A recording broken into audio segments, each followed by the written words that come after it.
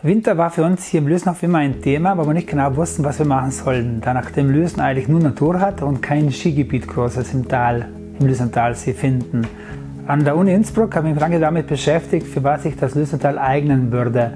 Da bin ich darauf gekommen, dass es im Alpenraum kaum ein Tal gibt, was so viele ungefährliche Gipfel hat wie Lösener Alm, mit 30 Kilometer fast. Und dass dort das Schneeschuhwandern einfach ideal ist, da es keine Aufstiegsanlagen gibt und sonst eben keine Menschen stören.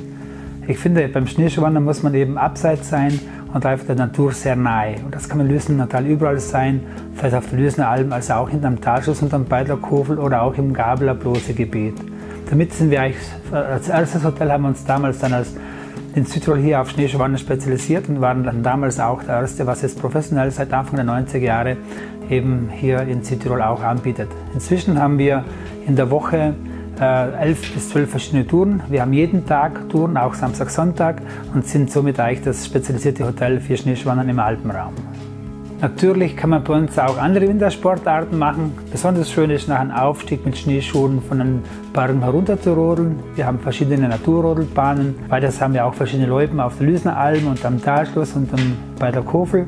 Sehr, das sind natürlich auch alle sehr, sehr äh, lange befahrbar durch die Höhenlage, auch durch die Schneesicherheit, was wir hier haben. Und dann haben wir natürlich auch Möglichkeiten für zum Skifahren lernen. In der Nähe des Hotels ist ein Kinderskilift oder auch der Skibus zur Blose, wo Sie auch äh, täglich auch äh, öfters mit dem Bus hin und her fahren können. Da empfehlen wir dann einfach eine Kombination zwischen Skifahren und Schneeschuhwandern.